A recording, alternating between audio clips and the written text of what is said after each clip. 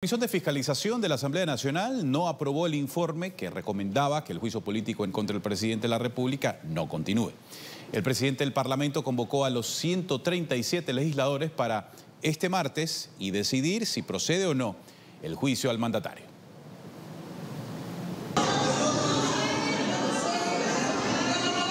La sesión culminó en medio de gritos. Los legisladores del correísmo pedían que una moción que presentaron para modificar el contenido del informe de juicio político sea discutida.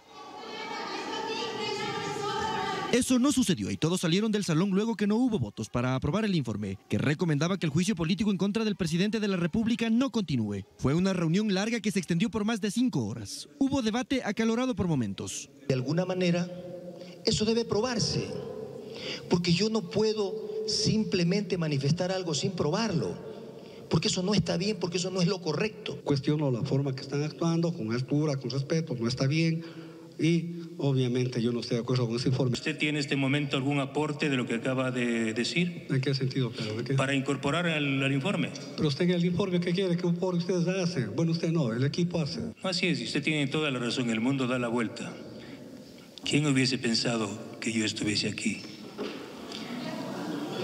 Cierto? Al menos ustedes jamás se hubiesen imaginado. Ese informe fue entregado al presidente del Parlamento para que ponga en conocimiento de los 137 legisladores. Procede que se aplique el artículo 142 y la Corte deberá, si, e, si la Corte cree o estima conveniente, revisar todo este proceso. El artículo 92 de la Ley Orgánica de la Función Legislativa establece que se debe remitir al presidente de la Asamblea dentro del plazo un informe motivado.